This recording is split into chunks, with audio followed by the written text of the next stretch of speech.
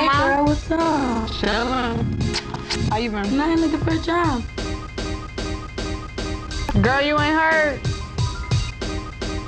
Hispanic Achievers is having a job fair at the Fashion Square Mall, May 24th.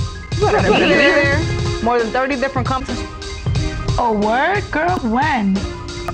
May 20th at the Fashion Square Mall from noon to 4. Girl, make sure